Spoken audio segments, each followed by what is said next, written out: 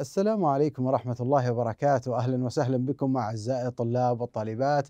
ومعنا اليوم تطبيقات مسار آه، قسم إدارة الأعمال في ما درسناه في الفصل الأول. نبدأ على بركة الله بحل هذه التطبيقات. طبعا ما راح نحل يعني كل الأسئلة ولكن يعني ناخذ على الأقل نصف الأسئلة. يعني نص علينا ونص عليكم. نحاول نتعاون إن شاء الله في حل هذه التدريبات. نبدأ على بركة الله ونشوف معنا السؤال الأول. قال لك حدد الإحصاءات الوصفية أو الاستدلالية في العبارات الآتية. يعني بنحدد هل الإحصاء هنا وصفي أو استدلالي. يلا نشوف الفقرة A. قال لك يبلغ متوسط رواتب الموظفين الذين تتراوح مدة خدمتهم بين 25 و 35 سنة 15 ألف ريال. طبعا هذه لاحظ أن هذا يعتبر إحصاء وصفي. هذا يعتبر إحصاء وصفي لأنه ما في استدلال وإنما وصف حالة معينة أو وصف معلومة معينة. طيب نشوف الفقرة سي. قال لك بلغت نفقات المصنع 566 مليار دولار عام 1996 كذلك هذه تعتبر بيانات وصفية بيانات وصفية. آه نشوف الفقرة إي قال لك يؤدي تتبع الدخل والنفقات في شركة ما إلى تحديد ما كان نشاط معين مربحا. لاحظ هنا هو استنتج استنتاج معين من خلال تتبع للدخل والنفقات حتى يحدد الربح فبالتالي هذا البيانات أو هذه الدراسة أو النوع هنا هو إحصاء استدلالي. الآن نشوف الفقرة جي. قال لك ذكر الباحثون أن المهارة تؤثر في الأداء الوظيفي. لاحظ هنا أيضا ما فيها يعني أرقام ولا فيها آه، يعني آه، وصف وإنما فيها استنتاج معين فبالتالي هنا يعتبر أيضا إحصاء آه، استدلالي. ننتقل للسؤال الثاني نشوف الآن قال لك حدد نوع المجتمع هل هو محدود ولا غير محدود فيما يأتي؟ نشوف الفقرتين A و C. الفقرة A تقول الأسماء المدرجة في سجلات رواتب الموظفين في أول يوم من الشركة في من أو في أول يوم من الشهر في الشركة. بلا شك أن سجلات رواتب الموظفين هي سجلات محدودة يعني لابد أنها تكون محدودة ما تكون لابد تكون دقيقة فبالتالي هنا يعتبر المجتمع محدود. يعتبر المجتمع هنا محدود.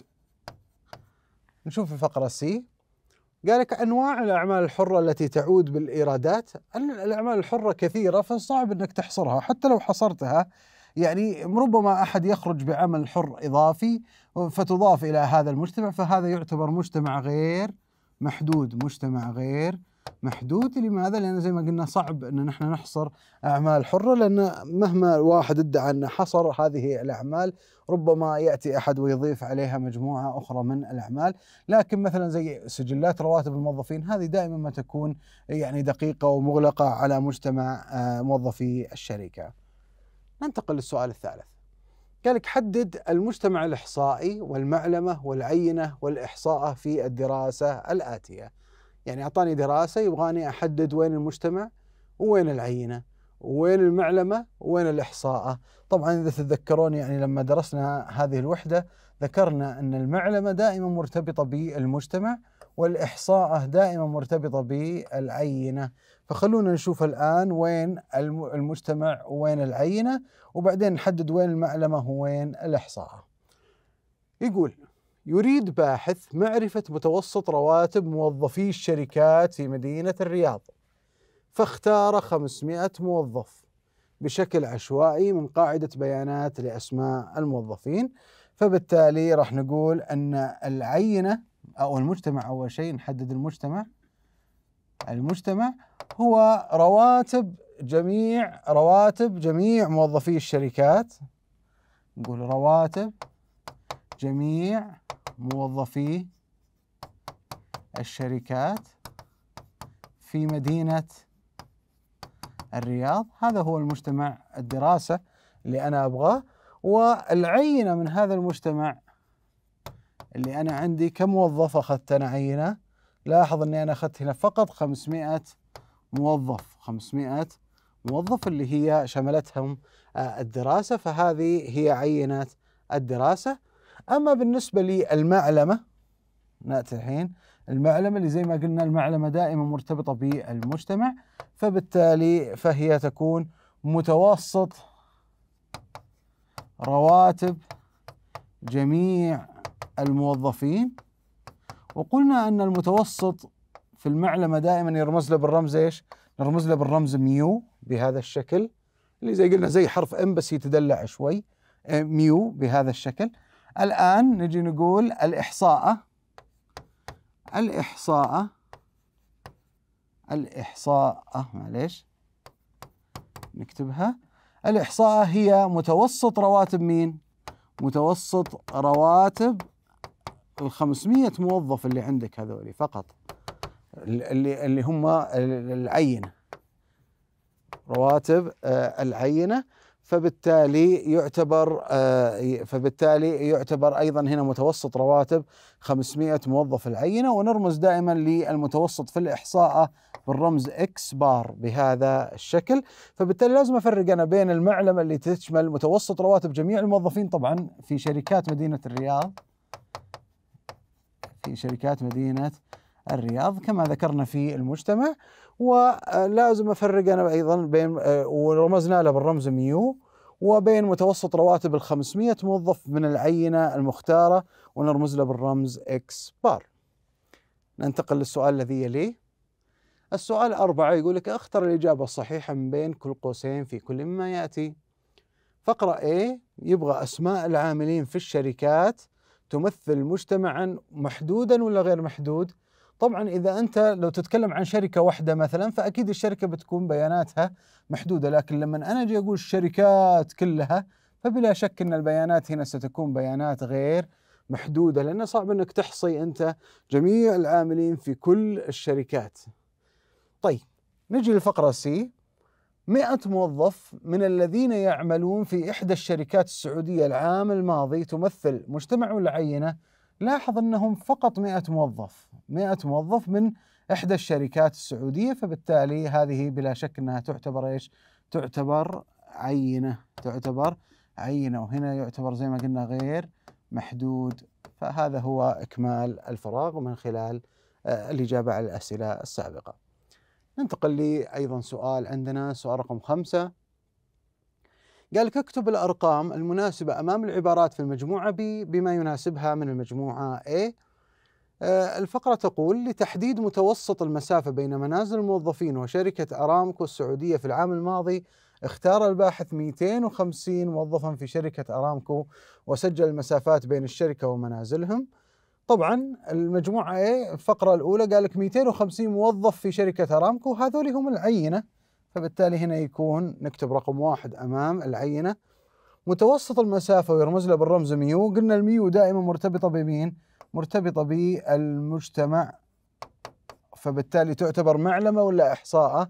تعتبر معلمة. إذا هذا اللي بيكون رقم اثنين.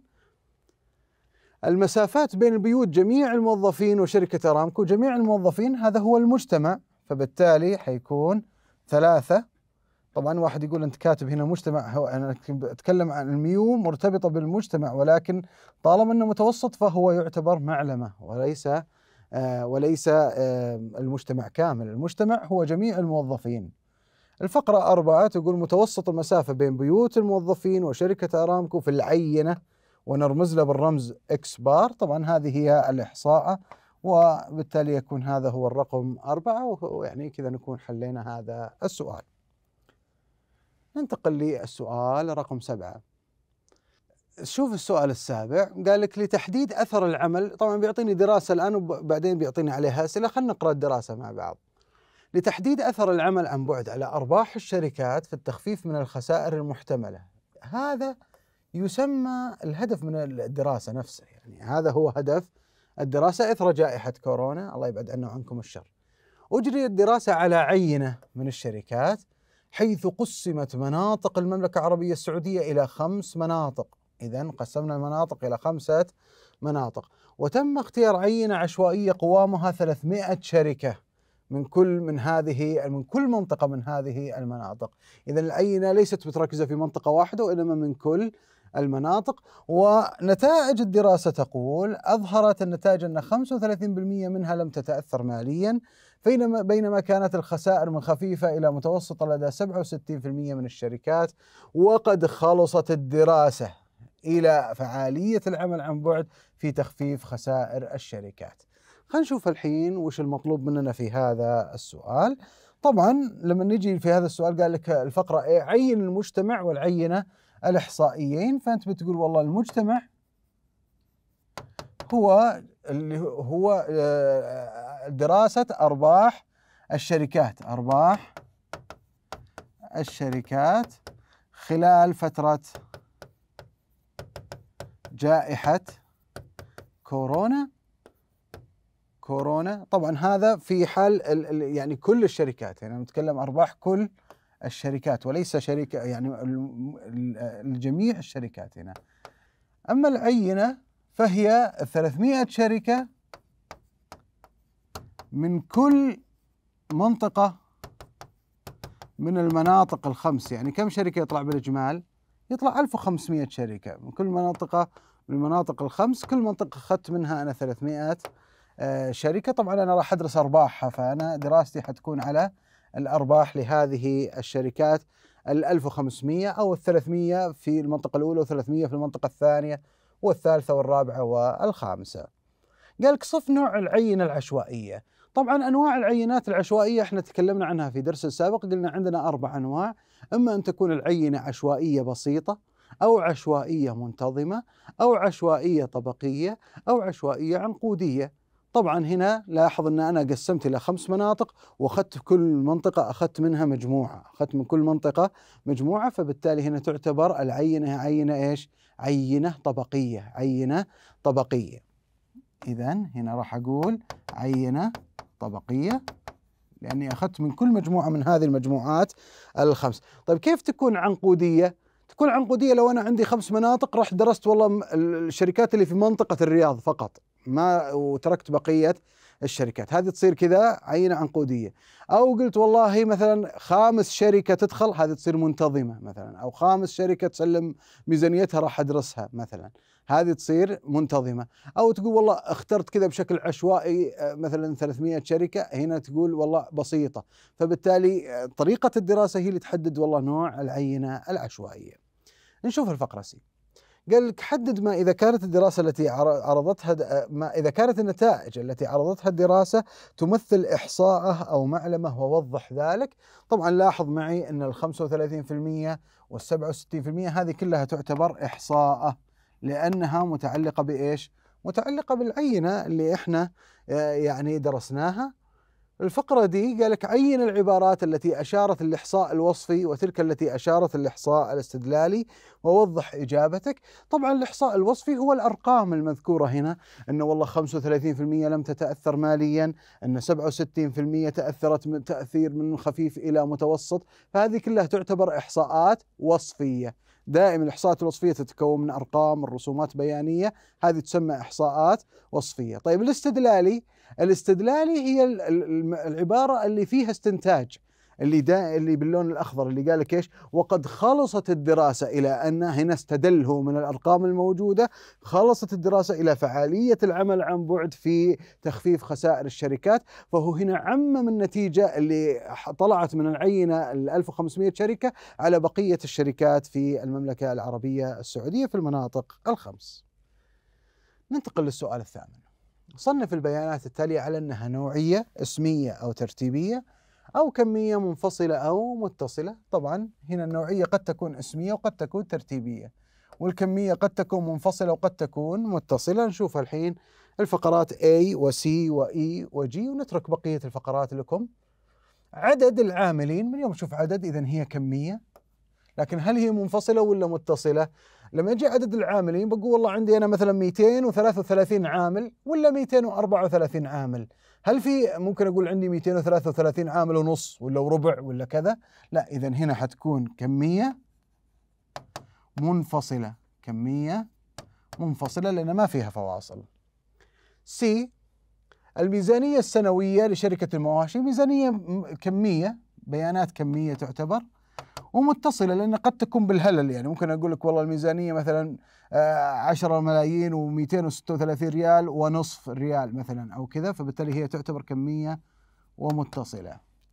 البضائع المعفاة من الجمارك في السعودية فبالتالي مثلا البضائع ممكن أنا أعددها لكن إذا هي بيانات نوعية لكن هل في ترتيب لهذه البضائع؟ لا هي نوعية اسمية مجرد إني أعددها فبالتالي بدون ترتيب لكن الفقرة جي شوف معي قال لك تصنيف الخطط المستقبلية لشركة وفق وفقا للبعد الزمني هل هي بعيدة أو متوسطة أو قريبة المدى؟ لاحظ أن هنا هذه تعتبر نوعية لأنها خطط ولكن ترتيبية. أما بعيدة أو متوسطة أو قريبة فهنا فيها ترتيب. إذا هنا حتكون ترتيبية حتكون ترتيبية. إذا هذه نوعية ترتيبية. شوف السؤال التاسع. قال لك صنف كل متغير كمي على أنه متصل أو منفصل فيما يأتي. الفقرة A عدد العمليات المالية التابعة لشركة ما خلال فترة معينة. عدد العمليات بتقول يا عندي مثلا 200 عملية يا 300 عملية يا 301 يا 302 ما يصير عندك مثلا 302 ونص أو كذا فبالتالي هذا يعتبر منفصل منفصل. لأن ما في فواصل. لكن لما أجي في الفقره سي أقول متوسط الإنفاق الحكومي المبالغ المذكورة هذه تكون متصلة ها متصل اذا حيكون متغير كمي متصل ولان آه، في فواصل ممكن تكون موجودة. السؤال عشرة قال لك حدد نوع البيانات المتصلة الآتية فقرة A درجات حرارة الجسم للرياضي أثناء أداء التمارين هل هي فترية أم نسبية؟ قلنا البيانات الفترية هي التي يكون فيها الصفر ليس معنويا. يعني لما نقول لك درجة الحرارة صفر في حرارة معينة اللي هو البرد القارص هذا فبالتالي في حرارة معينة. فبالتالي تعتبر فترية. أما النسبية لما نقول صفر يعني ما في ولا شيء. فدرجات الحرارة تعتبر بيانات فترية. بيانات متصلة فترية بينما متوسط هطول الأمطار الشهرية لما أقول لك صفر فمعناها ما في أمطار فبالتالي هذه تعتبر بيانات نسبية. نشوف أيضا السؤال رقم 11 قال لك مؤشر الخدمات هو أداة أطلقتها هيئة الحكومة الرقمية لقياس أداء الجهات الحكومية حيث يشير المؤشر إلى وجود ارتفاع كبير في مستوى نضج الخدمات الإلكترونية كما يظهر في الجدول الأدنى طبعا لاحظ أعطاك الجدول الخدمات التكاملية، الخدمات الإجرائية، الخدمات التفاعلية وحط لك أرقام معينة في عدد الخدمات والنسبة المئوية ومصدر هذه المعلومات المنصة الوطنية الموحدة، أيضا أعطاني رسم بياني كما هو ظاهر أمامنا. وش المطلوب في السؤال هذا؟ قال لك A حدد نوع البيانات التي يشير لها الجدول وفسر إجابتك، طبعا البيانات الموجودة هنا لاحظ أن هذه تعتبر كمية منفصلة وهذه بيانات كمية متصلة لأن فيها فواصل. فبالتالي بالنسبة لعدد الخدمات يعتبر كمية منفصلة وبالنسبة للنسب المئوية فهي كمية متصلة كما هو ظاهر أمامنا. بي قال وفقا للتمثيل البياني هل البيانات التي يقدمها المؤشر تشير إلى إحصاء وصفي أم استدلالي؟ لاحظ أن هذا يعتبر إحصاء وصفي هذا يعتبر إحصاء وصفي لأنه وصف لي فقط أرقام وبيانات. ما استدليت أنا من هذه الأرقام أو من هذه البيانات على أي شيء فقط مجرد بيانات موصوفة أمامي كما هي. الفقرة سي قال لك كيف يمكن الاستفادة من قراءة المؤشر في الإحصاء هذا هو دور اللي هو الإحصاء الاستدلالي. فبالتالي مثلا ممكن أقول أنا آه، أستفيد منها في رفع كفاءة مثلا بعض الخدمات الموجودة في معالجة مثلا الخلل في بعض الكفاءات في بعض الخدمات المطروحة فهذه كلها تعتبر من الطرق اللي أنا ممكن أستدل فيها من خلال البيانات الموجودة أمامي. ننتقل للسؤال الذي يلي. اختر الإجابة الصحيحة. فقرة واحد تصنيفات طرق دعم تمويل شوفوا هنا طرق دعم تمويل وحل المشاكل بالشركة هي التواصل مع البنوك المؤسسات المالية أو شركات التأمين. هنا هذه البيانات هل هي اسمية ولا هل هي نوعية اسمية ولا نوعية ترتيبية ولا كمية منفصلة؟ بلا شك أنها نوعية واسمية لأن لا ليس فيها ترتيب ليس فيها ترتيب. أعمار العاملين أعمار عبارة عن أرقام فهي كميات كمية أو بيانات كمية والأعمار كميات متصلة. يعني تعتبر لأن في واحد عمره مثلا 30 آه، سنة واحد 30 سنة وشهر 33 سنة وشهر ويومين ودقيقتين فتعتبر كمية ومتصلة. نشوف أيضا هنا قال لك أجب بصح أو خطأ. الفقرة بي والفقرة دي عندنا قال لك خطط عملية خطط عملية لإدارة الأصول آه، أو خطط عملية لإدارة الأصول الثابتة في الشركة هو متغير نوعي اسمي. نعم. بلا شك. إذا الخطط هي متغير نوعي اسمي هذا جواب صحيح. مؤهل الموظف اللازم للعمل في قسم الجودة هو متغير نوعي ترتيبي. المؤهل إحنا نعرف يعني مثلا ابتدائي متوسط ثانوي جامعي فبالتالي هنا أيضا متغير نوعي وترتيبي. إذا هذه العبارة أيضا عبارة صحيحة. شوف السؤال اللي بعده. قال لك اذكر نوع كل عينة من العينات العشوائية في الدراسات التالية. يطلب من كل سابع طالب يدخل الكلية. شوف قال لك سابع طالب إذا هنا عينة عشوائية منتظمة. إذا عينة عشوائية منتظمة. سي قال لك فحص كل فطيرة جبر رقم 100 في خط الإنتاج. فبالتالي أيضا طالما أنه أعطاني رقم معين فبالتالي هذه تعتبر إيش؟ تعتبر عينة عشوائية منتظمة. لتحديد طبعا مطابقتها للمواصفات. الفقرة اي قال لك تقسيم الطلاب حسب التخصص. شوف حسب التخصص قسمتهم. واختيار طلاب أحد التخصصات كاملا. يعني أنا قسمتهم إلى تخصصات. ورحت أخذت فقط أحد التخصصات فهذه تعتبر عينة عشوائية إيش؟ عينة عشوائية عنقودية. عنقودية. الفقرة جي قال لك اختيار 25 عميلا بطريقة عشوائية من كل فرع من فروع الشركة. يعني أخذت أنا 25 عميل من كل فرع من الفرع الأول 25 من الفرع الثاني 25 من الفرع الثالث 25 واستطلعت آرائهم حول الخدمات فهذه تعتبر عينة عشوائية طبقية. طبقية. إذا ليه؟ لأني أخذت أنا من كل فرع مجموعة معينة. نختم بهذا السؤال. قال لك ضمن دراسة أجرتها الهيئة العامة للإحصاء حول نسبة الإنفاق الحكومي على الخدمات الأساسية كمتطلب من متطلبات التنمية المستدامة كانت النتائج على النحو التالي نسبة الإنفاق الحكومي على الخدمات الأساسية اللي هي التعليم والصحة والتنمية الاجتماعية من الإنفاق الإجمالي الحكومي في عام 2017 37% في عام 2018 36% في عام 2019 37% فبالتالي هنا قال لك هل النتائج هي إحصاء استدلالي أم وصفي؟ بلا شك أنه وصفي لأن أعطاني عبارة عن أرقام. هل تمثل نسبة الإنفاق الحكومي في الجدول الاعلى إحصاء أم معلمه؟ بلا شك أنها إحصاء لأن هذه عينة من الخدمات. سي قال لك باعتقادك كيف يتم اختيار العينة في هذه الدراسة وما نوعها إن وجدت؟ لاحظ أن هنا إحنا كان عندنا مجموعة كبيرة من الخدمات وأخذنا مجموعة واحدة من هذه الخدمات درسناها فبالتالي تعتبر هذه العينة عينة عشوائية عنقودية. عينة عشوائية عنقودية. لأن أخذنا عينة يعني فقط حالة واحدة. ما نوع البيانات المستعملة بالدراسة؟ طبعا هي كمية بيانات كمية. هل هي متصلة؟ طبعا كنسب فيها فواصل فبالتالي تعتبر كمية متصلة الفقرة إي قال لك بالرجوع للميزانية العامة للمملكة العربية السعودية في الأعوام المذكورة في الدراسة هل يمثل الإنفاق الحكومي على الخدمات الأساسية النسبة الأعلى أم الأقل؟ بلا شك أن هذه تعتبر النسبة الأعلى لأن هذه الخدمات خدمات أساسية وبلا شك أن حكومة المملكة العربية السعودية دائما تسعى لرفاهية ويعني آه، راحة المواطنين من خلال دعم مثل هذه المجالات آه، الجوهرية والأساسية في حياة أي إنسان جانب التعليم وجانب الصحة والخدمات الاجتماعية. وبذلك آه، نكون بحمد الله تعالى أخواني الكرام وأخواتي. انتهينا من أسئلة أو تطبيقات مسار إدارة الأعمال على دروس الفصل الأول. أتمنى تكونوا استفدتم واستمتعتم. نلقاكم على خير في الدرس القادم. في أمان الله.